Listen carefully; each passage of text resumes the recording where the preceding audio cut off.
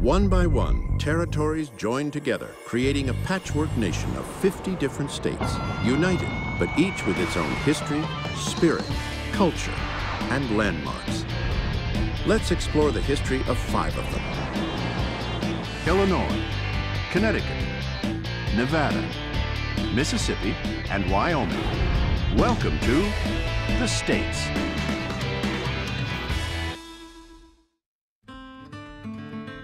If there were one state that could be called a true microcosm of America, a state with a good balance of factories and farms, a diverse population, a broad economic base, and a central location, this would be the place. Greetings from Illinois, America's 21st state, which joined the Union on December 3, 1818. Its population of nearly 13 million people ranks it fifth in the nation. I think what I miss most about Illinois is the way it looks. I think I really miss the way Chicago has such a, a, sense of history to it because of its architecture. I miss the, the fabulous museums that they have there, the whole lakefront. I miss driving up Lakeshore Drive. I miss Lincoln Park Zoo. So I miss all the things that I knew as a kid that are still there, and I'm just so glad that they are still there for someone else to enjoy them. If you ask a Chicagoan where they're from, they say they're from Chicago, period. They would never put comma, Illinois. There is a sense that Chicago is in of itself, in the same way in which New York and New Yorkers feel about their city. But the second city is second to none when it comes to landmarks. In downtown Chicago, one of the world's largest public libraries is the 756,000 square foot Harold Washington Library Center. Opened in 1991, its nine floors hold over 10.7 million volumes. A few blocks away, you'll find the tallest building in North America, the third tallest in the world. The Sears Tower contains enough steel to build 69,000 automobiles and enough telephone wiring to wrap around the world 1.75 times. Not to be outdone, the Field Museum houses the largest and most complete T-Rex fossil yet discovered. The dino, affectionately named Sue, was unearthed in South Dakota and acquired by the museum in 1997. Even with all these astonishing attributes, the state's greatest claim to fame is one of America's most revered icons, a man who was actually born in Kentucky. We readily acknowledge Lincoln was born in Kentucky, and we also acknowledge the time he spent in Indiana, but he chose Illinois to be his home state. If Illinois is the land of Lincoln, then Springfield is clearly its epicenter. This was his home for 25 years, where he first worked as a lawyer, married, and raised his family. Today, Springfield is home to the first and only Abraham Lincoln Presidential Library and Museum, which opened in 2005. The state-of-the-art facility is filled with high-tech exhibits to attract visitors in the 21st century. Audiences are enthralled by a theatrical presentation that incorporates live actors and special effects to bring Abraham Lincoln to life. And That government of the people, by the people, for the people. There is so much here for those interested in the 16th president, including one little-known piece of Lincoln lore. Abraham Lincoln became involved in an affair of honor with another prominent politician in the state, James Shields. The two men were from opposite political parties and at odds over some state business. When an anonymous letter appeared in the Sangamo Journal of Springfield attacking Shields' character and his Irish ethnicity, Shields suspected Lincoln's soon-to-be wife, Mary Todd, or Lincoln himself. Shields confronted Lincoln, expecting an apology. And when Lincoln wasn't forthcoming with the retraction, he issued a challenge to a duel.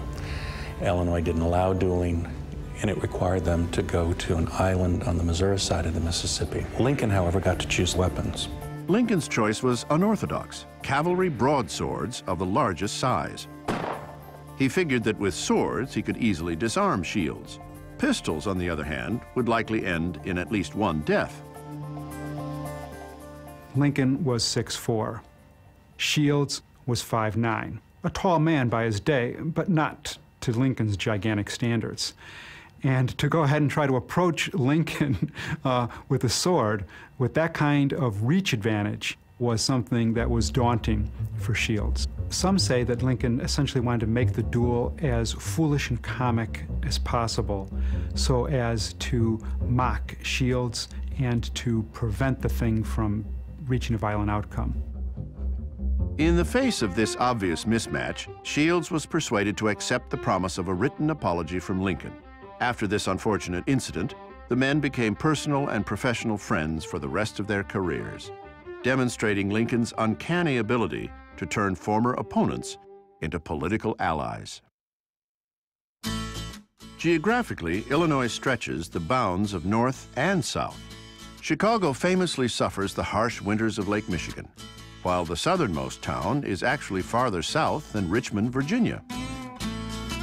But central Illinois is where you'll find one secret of the state's success, its soil.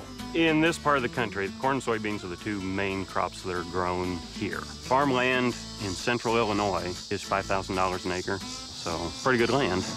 Illinois also once had the largest, most sophisticated Native American civilization north of Mexico. According to archaeological finds, the city of Cahokia was inhabited from about 800 AD to 1400 AD. It covered nearly six square miles, with a population as high as 20,000 people. This was a center of religion and learning, and its people built huge pyramids, designed solar observatories, even practiced human sacrifice. The exact fate of the prehistoric Cahokians and their city remains unknown. Cahokia declined as an urban center between 1300 AD and 1400 AD. By 1400, the site was basically abandoned. Why did this happen? It's a mystery. We think some of the factors involved are depletion of resources, you know, cutting down all the trees to build these walls for building all the thousands of houses and the firewood you need every day for cooking and heating for thousands of people. And not just Cahokia, but all these other hundreds of surrounding communities too, which are competing for these resources. Today, along the Mississippi riverbanks, archaeologists continue to dig for clues, hoping to solve the ancient mystery of Illinois' great pyramid builders. In the 1920s, however, there was no mystery about who was the most powerful and intimidating force in Illinois. It was a mobster named Al Capone. Chicagoans enjoy the reputation of Al Capone uh, as a savvy, streetwise, uh, big-shouldered kind of guy. The city of Chicago, however, is a bit ashamed that its most famous citizen would be someone associated with brothels, prohibition violations, gambling, and criminal racketeering. Alphonse Capone grew up in New York City amidst gang warfare. After killing a man in Brooklyn, Al was sent by the mob to cool off in Chicago.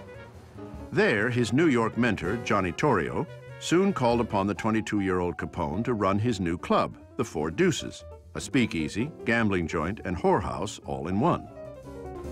Around that time, a new constitutional amendment drastically changed America. Prohibition made alcohol illegal and made men like Al Capone rich and powerful. Capone was sort of a melting pot mobster. He was not a member of the Italian mafia or anything like that. He was a second generation American, and he worked with Irish Americans, he worked with Orthodox Jews, he worked with Greek Americans, Polish Americans. In the jazz clubs he ran, he had black musicians. He was not a person of prejudices. He was somebody who saw bringing people together through organized crime was a way to make the most money. In 1929, Capone was at the height of his power and influence. But on Valentine's Day of that year, he made what would turn out to be his fatal mistake. He ordered the death of his rival, Bugs Moran. Capone's hitmen dressed up as police, lined up seven gangsters in a garage in downtown Chicago, and mowed them down. They didn't know it at the time, but Moran was not even there.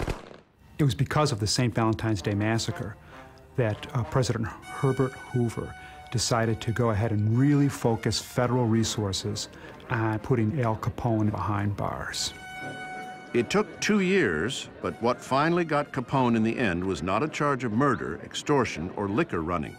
It was tax evasion. When Al Capone entered prison in 1931, Prohibition was nearing its end. With it, an infamous chapter in the state's history was all but over. Since those dark days, Illinois has taken its place among the most robust states in the nation, with expanded economic opportunities, a rebuilt infrastructure, and a strong, diverse economy. I'm proud to have come from Illinois because I think it has a more open attitude as a state. And I think it's because they have the down home feeling of the farm country, and then they have that sophistication of uh, Chicago all wrapped up in one state. In this New England state, early Dutch settlers bought land along a major river from the Pequot Indians. The payment included six axes, six kettles, 18 knives, and a sword blade.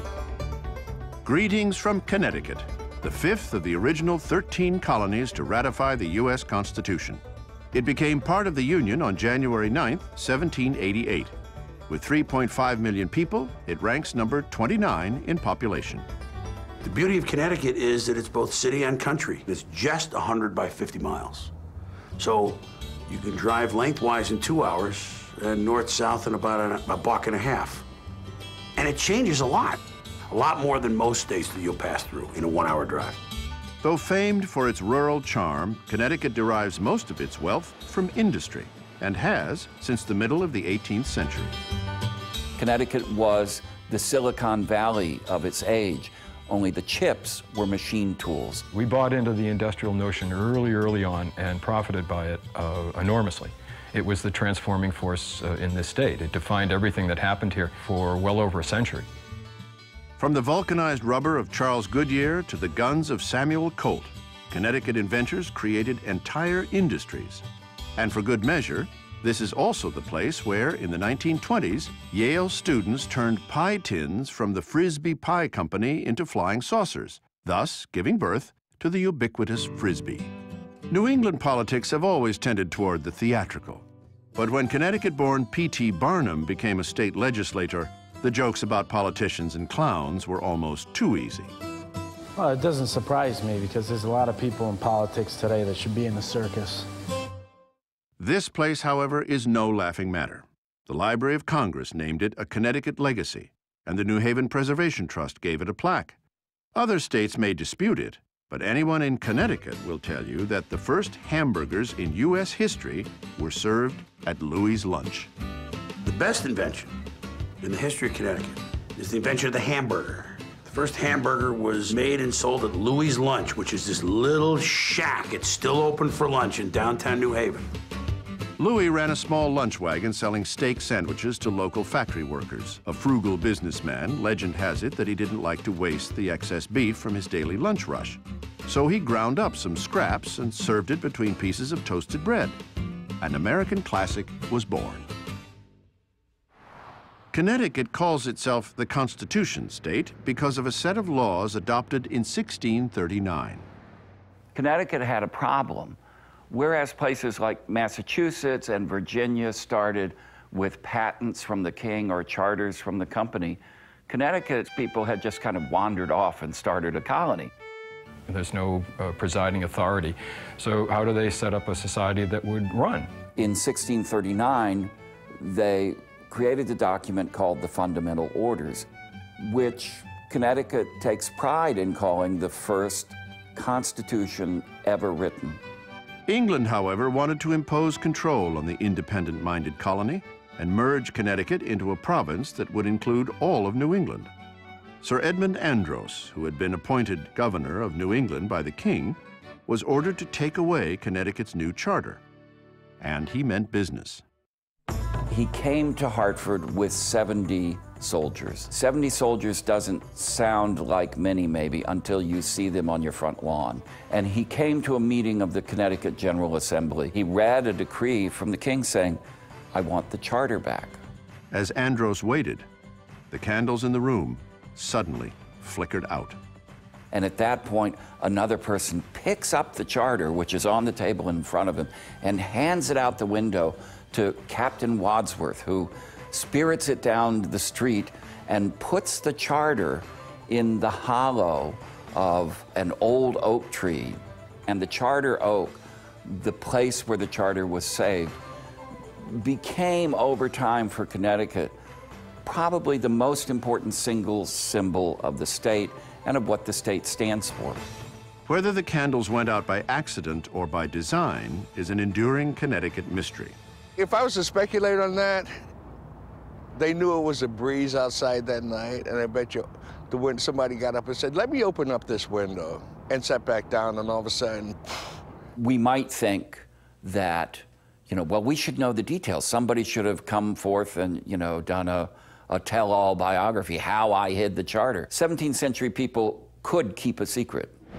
It's no secret that for hundreds of years, the people of Connecticut worked the open waters of the Atlantic and Long Island Sound. Fishing, whaling, oystering, and shipbuilding. The sea has been the lifeblood for towns like Mystic. Connecticut has always been a shipbuilding uh, center. Availability of timber, good deep water, protected harbors. The Mystic River particularly was an early site of shipbuilding. Even before sailing ships were replaced by steam-powered vessels, Connecticut had pioneered a very different way to navigate the sea, traveling under it. If Connecticut has any unique distinction, it's, it's as the submarine capital of the world. Even as far back as the American Revolution, David Bushnell developed a little submarine called the Turtle and actually came close to uh, exploding a, uh, a, torpedo next to a British ship in uh, New York Harbor. Another tradition was born, and Connecticut later became known as the submarine state. During World War II, Electric Boat's 12,500 employees launched 74 submarines at their plant in Groton. These 74 vessels accounted for 39% of all Japanese ships sunk. The Cold War sparked more innovation. The Soviet Union's launch of its Sputnik satellite created deep fears of an atomic Russia. President Dwight Eisenhower asked Electric Boat to develop a new kind of submarine, a nuclear sub that could launch nuclear missiles from any part of the Earth's oceans. The president made a commitment that that ship, which was capable of firing missiles, was going to go to sea before 1960. And on December 31st, 1959, that ship went to sea and fulfilled that requirement. And it was quite a feather in our cap. And it was an event comparable with the launching of that satellite. Connecticut's maritime tradition actually gave birth to its principal industry, insurance. As more ships set sail for England, the West Indies, and the Far East, merchants became concerned about the inherent risks to their thriving trade. Fires, pirates, storms, and accidents. The insurance industry was created when groups of merchants began to share these risks. On the bitterly cold night of December 16, 1835, a fire in a wooden building in downtown New York City quickly spread through a 20 square block area of Manhattan's burgeoning financial district, destroying nearly 700 buildings. Estimated damages of $26 million bankrupted all but three of the city's 26 fire insurance companies. It was Hartford's insurance companies that ultimately helped the city get back on its feet and established Connecticut's capital as the insurance capital of the world. As technology advanced, Hartford's insurance companies kept pace by specializing and offering different kinds of specialized protection to both individuals and whole new industries. In 1920, the Hartford Insurance Company insured Yankee slugger Babe Ruth to protect his earnings in the event of sickness. In the 1930s, they wrote contract bonds for large-scale projects like the Hoover Dam and San Francisco's favorite landmark, the Golden Gate Bridge. The defining characteristic of the insurance industry here was that it spread itself over almost everything. That, uh, that if you wanted insurance for any purpose, uh, Hartford was the place to look. This state entered the Union in the midst of the Civil War, just over a year after the terrible battle at Gettysburg. Thus, their motto, Battle Born. Greetings from Nevada, the 36th state to join the Union, which it did on Halloween, 1864. It has 2.5 million residents, making it the 35th most populous state. The common misperception is that everything is legal out here, that there's just, there's just gambling and alcohol and drugs and prostitution, and that's, uh, well, that's true. All of those are true. But a, a common misconception is that the uh, buffets are free. They're not all free anymore. Cheap, very cheap, not free. Nevada has a lot more to offer than just cheap food. It's the only state with a museum entirely devoted to Liberace. There's one slot machine for every 10 residents. And in the sinful city of Las Vegas, there are more churches per capita than almost any other town in America. Of course, that includes wedding chapels. More of Nevada land is owned by the federal government than any other state, 84.5%. Much of it is inhospitable desert, where nearly a thousand nuclear weapons tests were once conducted. But the lack of private land hasn't cramped the state's independent spirit. They have a long, rugged pioneer history, uh, starting with the gold mining in the early days, the ranching. They control their destiny. They do what they feel is important. In Nevada, they do what they want to do when they want to do it, uh, uh, so much so that you can strap on a, a six-shooter and walk down the main street of Las Vegas, and it's legal. Nevada is a place of contrast and contradiction. It has one of the smallest populations, but it's also one of America's fastest growing states. Its arid deserts have made it the driest state in the Union, but it also has more mountain ranges than anywhere else, including Alaska. Nevada actually means snow-capped in Spanish, but in English, most out-of-staters have trouble pronouncing its name. People mispronounce our state name all the time. You get the Nevada, Nevada. That is like potato or patata. it's kind of like tomato and tomato. It is Nevada. Eh, eh, eh. Nevada. Need proof? Check out the new specialty state license plate that actually shows the name with a phonetic spelling. Nevada is often called the Silver State, the perfect name for a place that's built on gambling money, over $10 billion in taxable income each year. But the Silver State was also built on gold mining. A lot of people don't realize, even Nevadans don't realize, that Nevada is the third largest gold producing region in the world behind South Africa, which is one, and Australia, which is two. Just about 10 million ounces of the precious metal were mined in Nevada in 2005, valued at more than $3 billion. So much of this state seems larger than life, like Hoover Dam. It took 21,000 men and five years to build, yet it came in two years ahead of schedule. At 726 feet, it's 171 feet taller than the Washington Monument in D.C. The dam is filled with 3.25 million cubic yards of concrete. That's enough to pave a standard two-lane highway from New York all the way to San Francisco. Despite Nevada's wide open and empty spaces, 95% of its population is crammed into just 19% of the state's territory. The areas that make up metropolitan Reno, Carson City, and Las Vegas. Since the early 1990s, Greater Las Vegas has boomed. Suburbs have encroached on the surrounding desert, dotting the arid beige landscape with sprinkler-fed oases of green. The growth is staggering. A new home is built every nine hours. 60 new streets are paved every month. The massive building boom that's accompanied the influx of newcomers even prompted the governor to suggest that the state bird should be changed to the construction crane.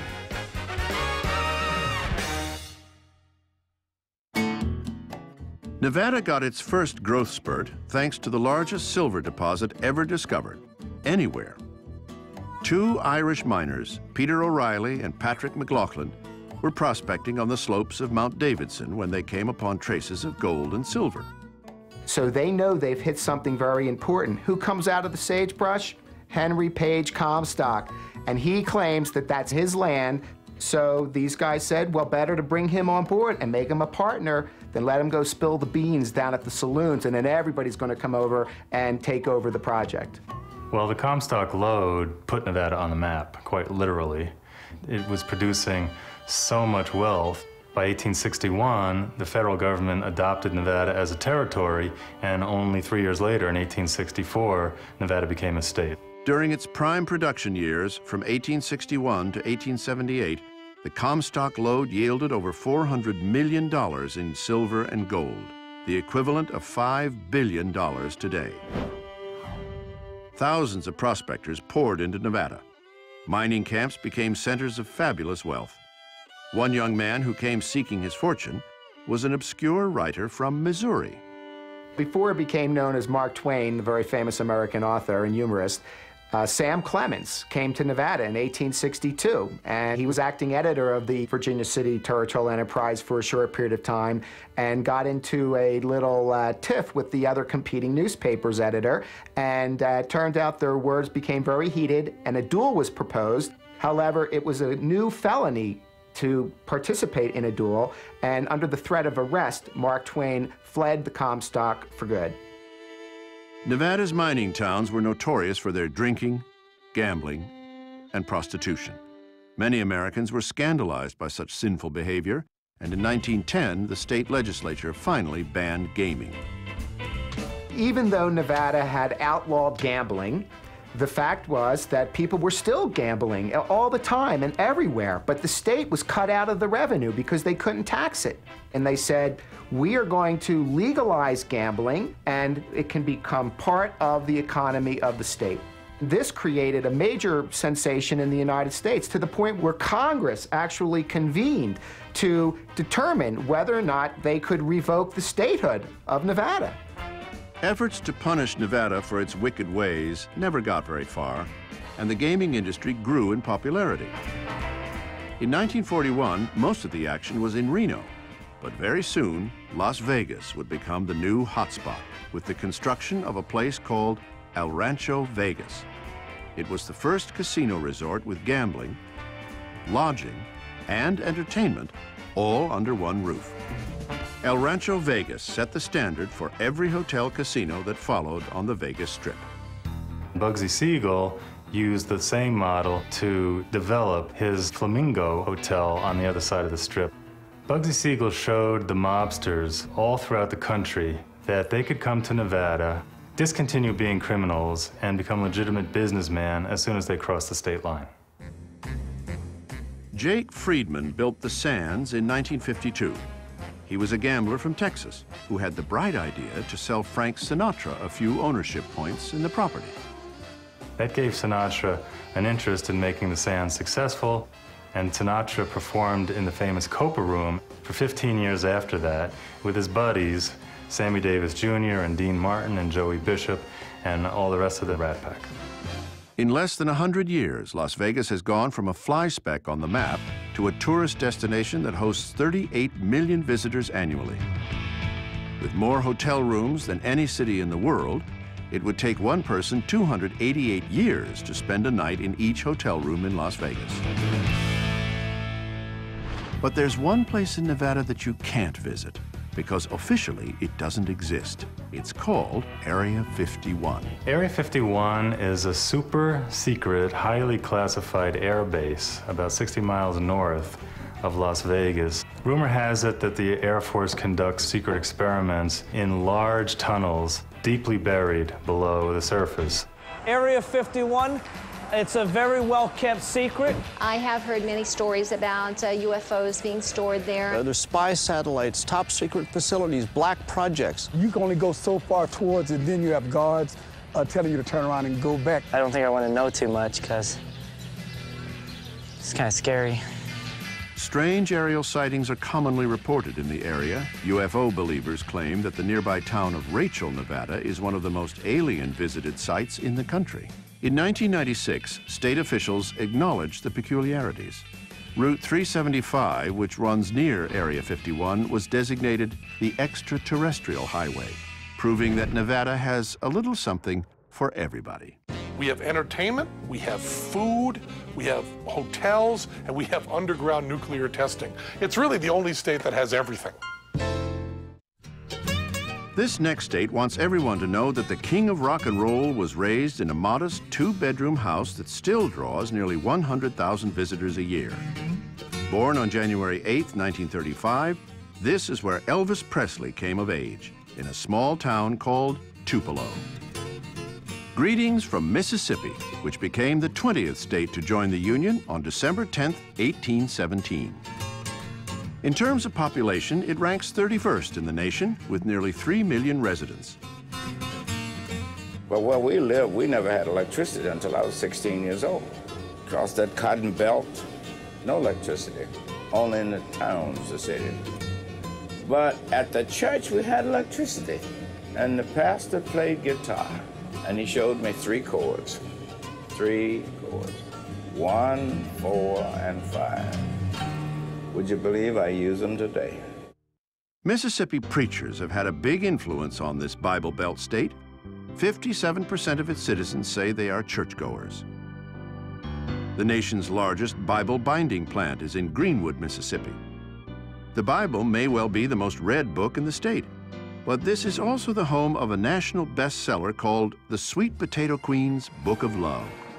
Jill Conner Browne's Guide to Life and Love in the Deep South has sold over 250,000 copies and has a cult following all over the world. There's a chapter of Sweet Potato Queens in Saudi Arabia. Their motto is no veils for us. With over 5,000 chapters in 20 countries, the Sweet Potato Queens are still actively recruiting for their annual St. Patrick's Day Parade in Jackson, Mississippi. Sweet potatoes, however, are not the crop most folks identify with Mississippi. Until very recently, cotton was at the heart of what Mississippi was all about. It was the centerpiece of not just the economy, but the social structure and the way of life. The booming textile industry in the northern states and in Europe created an unprecedented demand for cotton in the 19th and early 20th centuries. If you sat down and designed a place whose weather was perfect for cotton growing, you'd get Mississippi's weather patterns. The perfect blend of hot air and moist soil provided the state with $468 million in cotton revenue in 2005. Cotton has always been big business in Mississippi. But when the Civil War hit in 1861, production declined. Following the war, the industry rebounded as freed slaves went on to work their own fields. The Reconstruction effort hit full stride when Mississippi elected the first two African American senators in U.S. history, Hiram Revels and Blanche Bruce. Blanche Kelso Bruce was born into slavery and tutored alongside his master's son. After the war, he acquired land and built a prosperous plantation, employing mostly black tenant farmers. Bruce was actually considered for a cabinet post more than once by Republican presidents. After he finished his term as senator, he was appointed Register of the Treasury. At that point, the highest appointive office that a black had ever held in America. It was here in the Mississippi Delta in the late 19th century that former slaves and their descendants drew inspiration from their hard times. What emerged was a distinct musical form that came to be called the blues.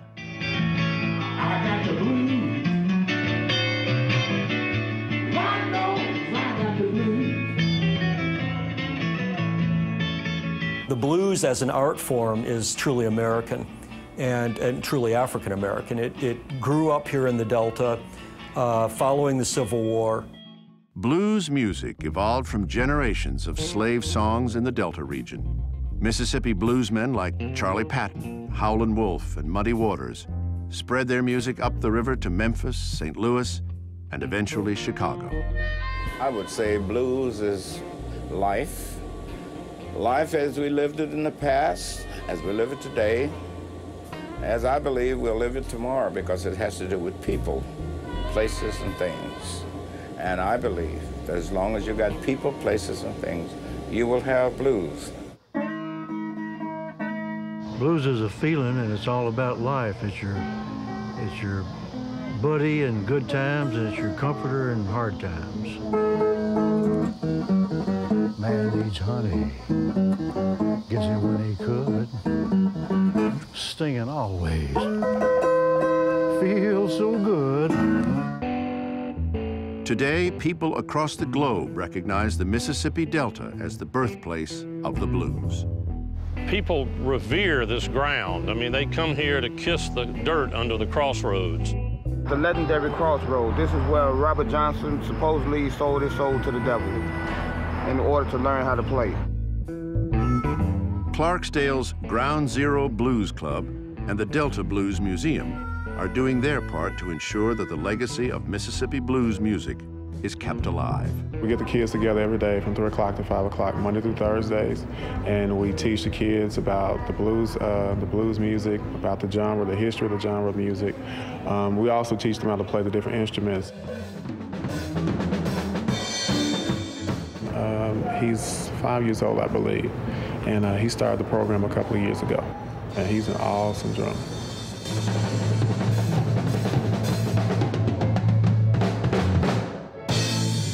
You know, I've been around doing this now almost 60 years. And the highlight of my career was in 2005. I was invited by the Mississippi legislators to come to the Capitol, which is a place I never went.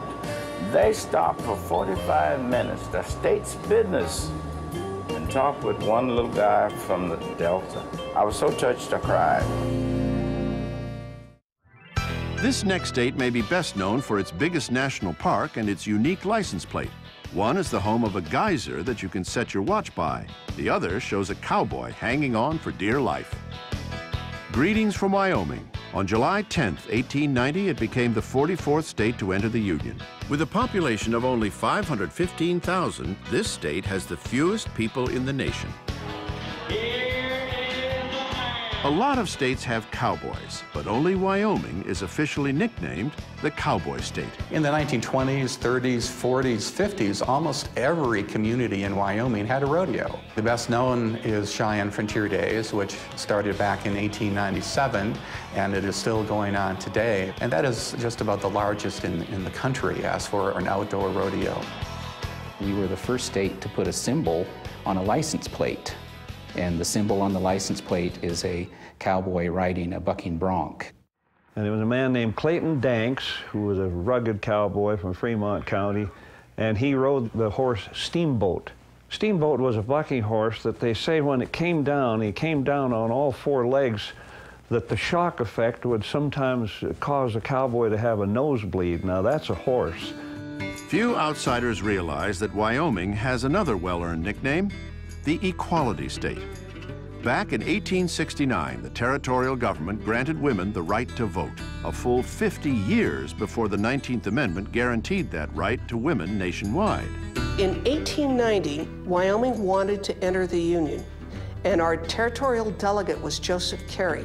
He sent a telegram back to the Wyoming legislature and said, the states don't want to let us in because we let women vote, and none of them do. And the Wyoming legislature sent a telegram and said, Wyoming is ready to wait 100 years if need be. We are not coming in without the women. And so, bright women who had been educated in, in the East who couldn't vote, they weren't just suffragettes, they were just people who were damn sick and tired of being disenfranchised, and they came west because they could get the right to vote and participate. Over the years, women have been named to significant positions in Wyoming. The first woman judge in America was a woman named Esther Hobart Morris, who was the Justice of the Peace up in South Pass City. The first woman governor anywhere in America was Nellie Taylor Ross, elected in Wyoming in 1924. Harriet Elizabeth Byrd carried on the tradition of Esther Hobart when she became the first African American woman elected to the Wyoming State Legislature. I really consider it to be a legacy and uh, that I would carry the same ideals that Esther Hobart Morris had while I was in the Wyoming State Legislature. For many people, Wyoming is all about the beauty of its natural wonders. But this is also the home of that all-American tall tale, the jackalope. Taxidermist Doug Herrick may have concocted the jackalope as a practical joke in the late 1930s, but before long, the mythical creature was turned into a tourist attraction. I actually shot one. The jackalope that I shot is on display here, and he's one of the larger ones that has been ever shot in the history of Wyoming. Though farms and cattle ranches cover most of Wyoming, the state's greatest source of wealth lies beneath the topsoil. We are, of course, the number one producer of coal in the United States. That translates to more than 400 million tons of coal a year. But the fastest growing business may be tourism. Yellowstone alone welcomes 3 million tourists every year. The first white man to see Yellowstone was John Colter, an experienced explorer who had traveled the continent twice with Lewis and Clark. Rather than return home in 1807, Colter went to Wyoming. He came back with fantastic tales of a land of fire and brimstone, a place where flames burned underground and smoke rose from a deep pit. After trapper Jim Bridger traveled above the Snake River 50 years later, he told stories of water puddles that could boil an egg, towering plumes of steam, and entire mountains made of glass. People would say, well, he's just lying. There's really no thing like that. In 1871, the first scientific expedition to Yellowstone Valley finally confirmed that the tall tales of Colter and Bridger were actually true. This was the first time that parts of the park were photographed. And so people in the east in Washington, D.C. were able to see how wondrous uh, Yellowstone Park truly was. And so then they began talking about maybe this should become a national park. In 1872, President Grant signed the law creating Yellowstone, which carved out of the territory of Wyoming a park as big as the state of Connecticut, the first national park in the world. The geysers of Yellowstone are the result of lava flowing beneath the park. Magma heats water that must be released via convection. The lava's proximity to the surface is the cause of most of the wonders here, leaving the park's visitors with a heavenly vision of phenomena that few, at first, believed to exist. Once you go to Yellowstone, you'll never forget it. It's beautiful. Their given names are forgettable, Robert Leroy Parker and Harry Longabaugh. In the lore of the Wild West, however, their aliases will live forever. Butch Cassidy and the Sundance Kid. Butch was born in rural Utah in 1866, the son of Mormons. Harry Longabaugh was born a year later in Pennsylvania, but his family soon made its way west. Butch Cassidy got his nickname from being a butcher in my hometown of Rock Springs. The Sundance Kid got his name because after his first robbery, he was arrested and jailed in Sundance, Wyoming. Butch successfully eluded the law for years, but was captured and sent to the Wyoming Territorial Prison in 1894.